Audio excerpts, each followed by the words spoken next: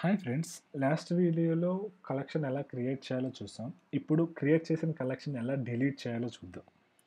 So దానికి మనకి డైరెక్ట్గా ఒక మెథడ్ ఉందన్నమాట. సో మన డేటాబేస్ మనం ఏదైతే డిలీట్ చేస్తాం అనుకున్నో ఆ కలెక్షన్ నేమ్ డాట్ డ్రాప్. ఈ మె ఈ మెథడ్ని ఎగ్జిక్యూట్ చేస్తే ఆటోమేటిక్గా మన కలెక్షన్ అనేది డ్రాప్ అయిపోయింది అనమాట అంటే డిలీట్ అయిపోయింది అనమాట so but be careful before executing this command అనమాట సో మీ డేటా లాస్ అయ్యి లాస్ అవుతారు. బ్యాకప్ చేసుకోకపోతే చాలా ప్రాబ్లమ్స్ వస్తాయి.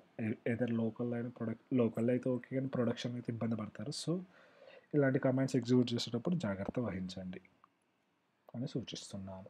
సో ఇప్పుడు ఫస్ట్ చూద్దాం. మన కాడ ఏమి ఎన్ని ఎన్ని కలెక్షన్స్? ఓకే టూ కలెక్షన్స్ ఉన్నాయి. ఇప్పుడు నేను ఎంప్లాయీస్ టెస్ట్ అనే కలెక్షన్ని డిలీట్ చేద్దాం అనుకుంటున్నాను సో దానికోసం నేను ఏం చేస్తా? డీబీ. డీబీ అంటే ఇప్పుడు మనం ప్రజెంట్ వాడేది ఇదే కదా?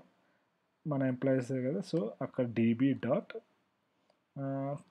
ఈ నేమ్ ఏదైతే కలెక్షన్ నేమో అది పెట్టా డాట్ డ్రాప్ డ్రాప్ అనే మెథడ్ని పాస్ డ్రాప్ అనే మెథడ్ని కాల్ చేస్తా ఆ కలెక్షన్ మీద. సో ఇప్పుడు నేను దీన్ని ఎగ్జిక్యూట్ చేస్తాను ట్రూ అని వచ్చేసింది.